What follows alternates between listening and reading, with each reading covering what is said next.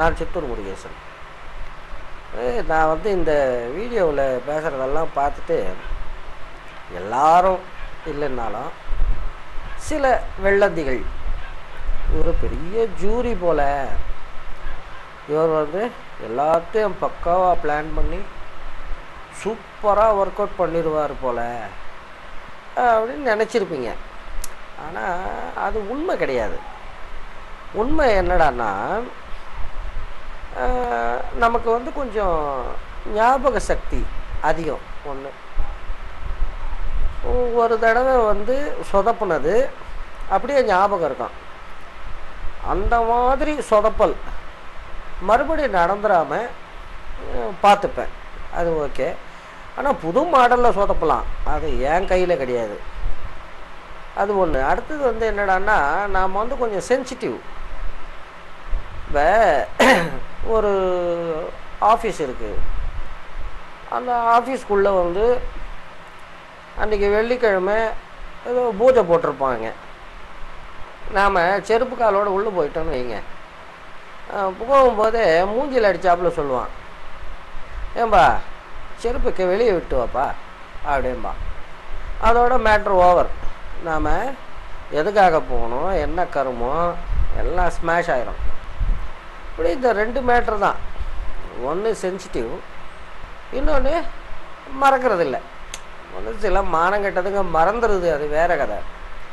நமக்கு வந்து எப்படின்னா அப்படியே ஜென்மம் செத்து போயிடும் அதனால் வந்து ஒரு முறை பல்பு வாங்கினா அதில் வந்து ரொம்ப அலர்ட் ஆயிடுவோம் இப்போது இந்த ராமகிருஷ்ண பரமஹம்சர் சொல்லுவார் ஒரு சாதகன். அதாவது வந்து முக்திக்கு ட்ரை பண்ணுறவன் அவன் வந்து ஒரு ஆமை போல தன்னுடைய பஞ்சேந்திரியங்களை ஒடுக்கிக்கணும் அப்படின்னு சொல்லுவார். நாம் அந்த அளவுக்கு ஒர்த்து கிடையாது. ஆனாலும் வந்து நீங்கள் பார்த்துருப்பீங்க. நண்பர்கள் வட்டத்தில் வண்டியை இரவல் வாங்குவான். கூலிங் கிளாஸ் இரவல் வாங்குவான். இத்தனைக்கும் வாங்கின நாய்க்கு சோத்துக்கு கதி இருக்குது. இப்போ சுகத்துக்கு பிச்சை எடுத்து அது வேற கதை. ஏன்னா உண்டி கொடுத்தார் உயிர் கொடுத்தார். இப்போ சோறு இல்லைன்னா செத்து போயிடுவோம் அப்படிங்கிறது தப்பு. நான் வந்து பதிமூணு நாள் உண்ணாவிரதம் இருந்தேன். ஒரு வெங்காயமும் நடக்கலை.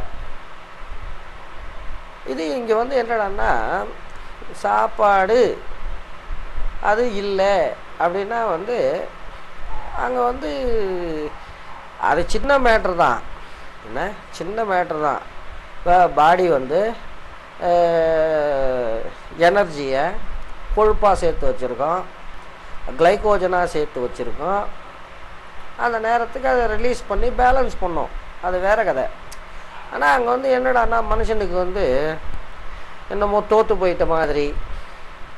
இல்லை இந்த சமுதாயமே தன்னை இந்த அண்ணன் தண்ணி புழங்கப்படாதுன்னு நாட்டாம தீர்ப்பு கொடுப்பாரு பாருங்க. அப்படி ஒதுக்கி வச்சுட்டாப்புல ஒரு ஃபீல் வந்துடும் சோத்துக்கு இல்லாமல் கையை க கை இருந்தனா அது வேறு கதை. ஆனால் வந்து இந்த மாதிரி கூலிங் கிளாஸ் பிச்சை எடுக்கிறது வண்டி பிச்சை எடுக்கிறது இந்த மாதிரிலாம். நான்லாம்னா எவனாச்சும் லிஃப்ட் கொடுத்தா கூட ஏற மாட்டேன். இப்போ கிடையாது இப்போமாச்சும் பரவாயில்ல. நம்ம இது இது அது என்ன? தொப்பை இருக்குல்ல அதை லைட்டாக அப்படி தடவி காட்டுறது. தடவி காட்டி அப்படி. அந்த காலத்தில் அது கூட கிடையாது. இந்த பிரபுதேவா மாதிரி தனுஷ் மாதிரி இருப்போம். அப்போ கூட சரி. நோ லிஃப்ட்டு ஓன்லி வாக்கிங் நான்லாம் வந்து தொண்ணூற்றி ஏழில் ஒரு சைக்கிள் வாங்குகிறேன் அது காலி. அதுக்கப்புறம் வந்து ரெண்டாயிரத்தி ஏழில் வாங்குகிறேன் அதாவது பத்து வருஷம் நட்ராஜா சர்வீஸ் தான். பிரச்சனையே கிடையாது. அதே போல் இந்த சிகரெட்டு. சிகரெட்டுக்கு பிச்சை எடுப்பானுங்க. ஒரு சிகரெட்டை வாங்கி நாலு பேர் பிடிக்கிறது இந்த கர்மம்லாம். இது வந்து இந்த மிடில் கிளாஸ் ஃபேமிலியினுடைய ஹிப்பாக்ரசி நான் ஏற்கனவே பல முறை சொல்லியிருக்கேன். எங்கள் அப்பா வந்து இது மாதிரி ஹானஸ்ட்டு ஆஃபீஸரு அதனால் வந்து பல நேரங்களில் லக்ஸரிஸே இல்லை கம்ஃபர்டபுள்ஸ் இல்லை எசென்ஷியல்ஸு கூட அவதிப்பட்டிருக்கோம். அது வேறு கதை. மிடில் கிளாஸ் அப்படின்னா பிச்சை எடுக்கப்படாது. அதனால் அதை அந்த மனத்தடையை நான் ஜெயிக்க உபயோகித்தது வந்து பீடி. அதுவும் வந்து நம்ம இங்கே போய் உங்கள் பக்கத்தில் ரஜினிகாந்த் எங்கள் பக்கத்தில் என்டிஆர் எல்லாம் வந்து பீடியை வந்து ஸ்டைலாக பிடிப்பாங்க. அது ஒரு ஹீரோயிசம் இப்போ. அதனால் சிகரெட்டுக்கு பிச்சை எடுத்தது கிடையாது. இப்படி அதாவது சுயமரியாதை. இப்போ வந்து நான் பெரியாரை இந்த அளவுக்கு நேசிக்கிறதுக்கு இன்னும் சொல்ல போனால் பூஜிக்கிறதுக்கு காரணம் என்னடான்னா சுயமரியாதை. இப்போ வாழ்க்கையில் வந்து சுயமரியாதைக்காக எதை வேணும்னா இழக்கலாம். ஆனால் எதற்காகவும் சுயமரியாதையை இழக்கப்படாது. அப்படி நமக்குன்னு ஒரு வட்டத்தை போட்டுக்கிட்டு அந்த வட்டத்துக்குள்ளே வாழ்ந்துக்கிட்டு இருக்கோம். பிச்சை எடுக்க மாட்டோம். அதான் முக்கியம். இல்லை சப்போஸ் வந்து தமிழ்நாட்டிலேருந்து போலீஸ் வருதுன்னு வைங்க. ஐயா தெரியாமல் பண்ணிட்டீங்க. அந்த சீனெல்லாம் கிடையாது. தெலுங்கில் வந்து ஒரு கவிஞர் இருக்கார். இருந்தார். ஸ்ரீ ஸ்ரீன்னு அவர் தான் சொல்லுவாராம்.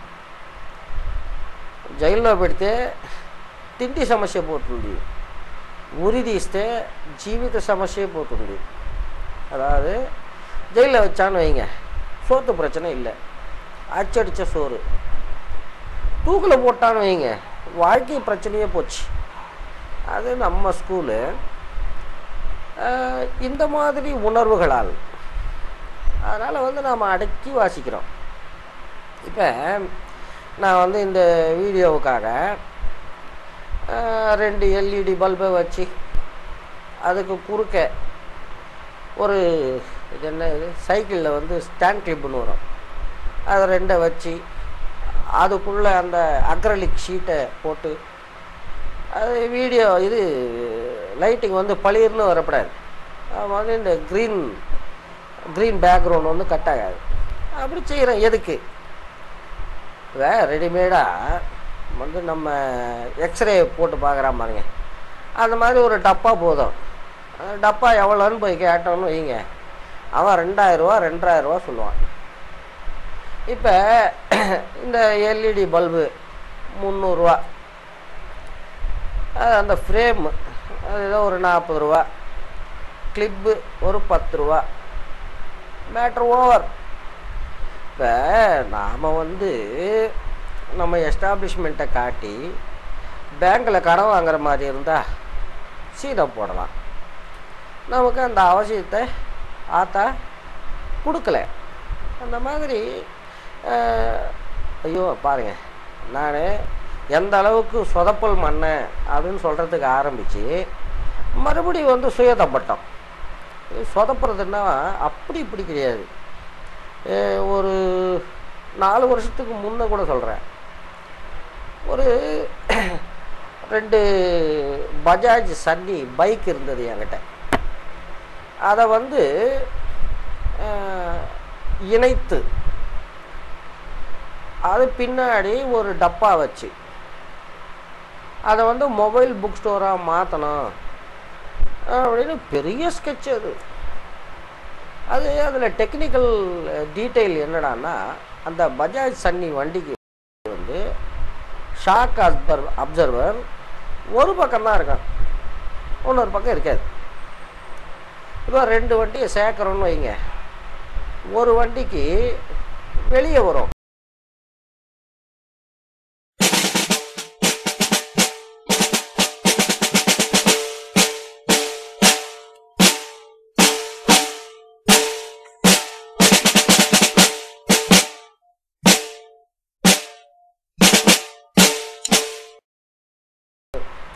அடுத்தது பெரிய சொதப்பல் என்னடான்னா அந்த ரெண்டு வண்டியும் வச்சு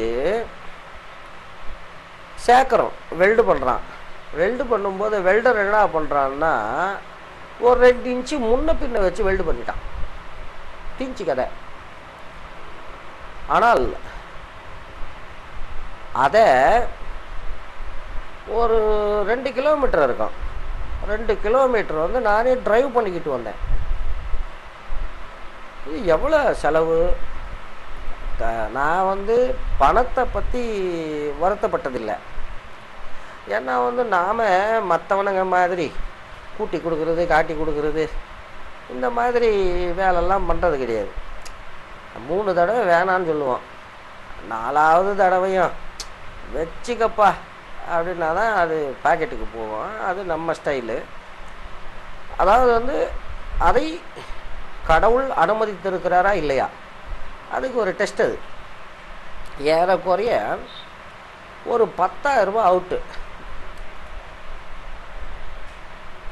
அதுக்கு பிறகு வந்து அதை பிரித்து அதெல்லாம் வந்து டிஸ்போஸ் பண்ணியாச்சு. நம்ம ஏரியாவில் சின்ன மசூதின்னு ஒன்று இருக்குது அதுக்கு வந்து இந்த ரெண்டு வண்டி ஒரு வாஷிங் மிஷினு எல்லாம் வந்து டிஸ்போஸ் பண்ணி அந்த காசை வந்து அந்த மசூதிக்கு நன்கொடையாக கொடுத்துட்டோம். அது வேற கதை. அந்த சந்தர்ப்பத்தில் அதாவது பாருங்க இப்போ நடந்தது நட்டம். அதே நேரத்தில் அதனால் என்ன லாபம்? அதையும் பார்க்கணும். முகநூலில் இந்த வருஷம் உங்களை மிக வருத்தப்படச் செய்த சம்பவம் எது? போட்டி நம்பர் ஒன்று உங்கள் வாழ்வில் இந்த வருடம் நடந்த நகைச்சுவையான சம்பவம் எது? இப்படி ரெண்டு போட்டி வச்சுருந்தாங்க. ரெண்டுத்துக்கும் இதே சம்பவத்தை இதே மாதிரி நக்கல் நக்கலாக எழுதினேன். ரெண்டு பிரிவிலையும் அது செலக்ட் ஆகி ரெண்டு பரிசு தொகை. அது ஒரு பக்கம். அடுத்தது வந்து என்னடானா அந்த காலகட்டம் மகளுக்கு கல்யாணம் ஆகுது உள்ளூர் தான். ஆனாலும் மகள் கிளம்பியாச்சு. அவ்வளோ காலம் PA personal camera woman PRO collection agent financier manager எல்லா கருமமும் அவள் தான் திடீர்னு அந்த இடத்துல வந்து ஒரு வெற்றிடம். அந்த சமயத்தில் நான் வந்து பிஸியாக இல்லாமல் இருந்திருந்தால் என்ன இருக்குண்டானா நானும் வந்து என்னுடைய சுயமரியாதையை இழந்து மவளை மவ வீட்டுக்கு போகிறது நான் சும்மா இந்த பக்கம் வந்தேன் பார்த்துட்டு போகலான்னு வந்தேன். இப்படியெல்லாம் சொதப்பி இருக்க வேண்டி வரும். அப்படி இப்போ நான் சொதப்பின சொதப்பல்லையே மேஜர் சொதப்பல் வந்து அந்த மொபைல் புக் ஸ்டோர் தான். ஆனால் ஒன்று அதை விட மாட்டோம் எப்படி? விட மாட்டோம் ஒரு நாள் இல்லை ஒரு நாள். அது சரியான டெக்னாலஜி சரியான ஒர்க்கரை வச்சு அந்த மாதிரி ஒரு பத்து புக் ஸ்டோர் எப்படி எப்படி? பத்து book store all over Tamil Nadu விட மாட்டேன் ஏன்னா நம்மளது வந்து கடகலக்கணும் இல்லையா? கடக லக்னத்துக்கு வந்து அந்த பிடிவாதம் அதிகம். லக்னத்தில் குரு உச்சமாக இருக்கிறதுனால இடம் பொருள் ஏவல் எல்லாம் பார்த்து அடிச்சே தீருவோம் விடமாட்டோம் அது ஒரு பக்கம். மற்றபடி சில்லறையாக சொதப்புறதெல்லாம் வந்து செம. இப்போ இந்த கம்ப்யூட்டரை எடுத்துக்கோங்க. இதெல்லாம் வந்து ரெண்டாயிரத்தி மூணுலேயே சொந்த டப்பா வாங்கியாச்சு. அது ஒரு பெரிய கதை. அது இன்னொரு சந்தர்ப்பத்தில் சொல்கிறேன் ரெண்டாயிரத்தி மூணுலேருந்து ரெண்டாயிரத்தி பதினெட்டுனா பதினஞ்சு வருஷம். பதினஞ்சு வருஷமாக வந்து இந்த சாஃப்ட்வேரு வெங்காயம் எல்லாம் பார்த்துட்டே இருக்கும். நேற்றுக்கு ஒரு சாஃப்ட்வேரை டவுன்லோடு பண்ணேன் இன்ஸ்டால் பண்ணேன். தான் இந்த க்ரீன் ஸ்க்ரீன் ரிமூவ் பண்ணுறதுக்கு ரிமூவ் க்ரீன் ஸ்க்ரீன் வருது. கொடுத்ததும் பக்காவாக கட் ஆகுது. க்ரீன் ஸ்க்ரீன் பக்காவாக கட் ஆகுது. அது போய் சேவ் ஆக மாட்டேங்குது. என்னடா மேட்டர்னா அந்த பட்டன் வந்து கீழே இருக்குது அந்த பட்டன் வந்து ஸ்க்ரீனில் வரமாட்டேங்குது. எப்போவுமே வந்து பிரச்சனை சிவியராக இருந்தால் அதுக்குண்டான சொல்யூஷனும் டிஃபிகல்ட்டாக இருக்கும். அப்படிங்கிறது தான் வந்து பொது புத்தி. அந்த மாதிரி இதில் நமக்கு வேறு நாம் வந்து விஞ்ஞானி இல்லையா? உடனே கற்பனை சிறகடிச்சு பிறக்குது. என்னடான்னா ஆஹா இவன் ஃபுல் வெர்ஷன் கொடுத்தாலும் இது வந்து இவனுங்களுக்கு பைசா கொடுத்து ஆக்டிவேட் பண்ணாதான் அந்த இம்போர்ட்டு சேவு அந்த ஆப்ஷன் வரும் போல். அப்படின்னு கன்ஃபார்ம் பண்ணிக்கிட்டேன். கன்ஃபார்ம் பண்ணிக்கிட்டு அதுக்கு ஏதாச்சும் சாஃப்ட்வேர் இருக்கா? அதாவது அந்த அது என்ன சொல்கிறது அதை? அந்த விண்டோ வருது இல்லைங்களா டைலாக் பாக்ஸ் அதை வந்து சின்னதாக்குறதுக்கு ஏதாவது சாஃப்ட்வேர் இருக்கா? அப்படின்னு ஆராய்ச்சி பண்ணிக்கிட்டு இருக்கேன். சரி அந்த நேரம் பார்த்து சரி மண்டை ரொம்ப சூடாயிருச்சு. அப்படின்னு அப்படியே வெளியே ஹால் வரைக்கும் போய் அப்படி இப்படி சுற்றி மாடிக்கு போய் ஒரு தம் போட்டு அப்போ ஸ்பார்க் ஆச்சு. ஆஹா நமக்கு கண் டப்ஸ் ஆயிடுச்சு நாம் வந்து டிஸ்பிளேவை கூட்டி வச்சிட்டோம். அதனால தான் வந்து டைலாக் பாக்ஸும் என்லார்ஜ் ஆயிடுச்சு அந்த டிஸ்பிளேயில் போய் மறுபடியும் அதை நார்மலுக்கு கொண்டு வந்தால் இந்த பட்டன் வந்து அப்பியர் ஆகும். அப்படின்னு ஸ்பார்க் ஆச்சு. இப்படி பயங்கர சொதப்பல் மன்னன் நான். இன்னொரு சந்தர்ப்பத்தில் இன்னும் பல சொதப்பல்கள் நம்ம வாழ்க்கையில் உண்டு. ஐ வில் ஷேர் நன்றி வணக்கம். சித்தூரிலிருந்து முருகேசன்.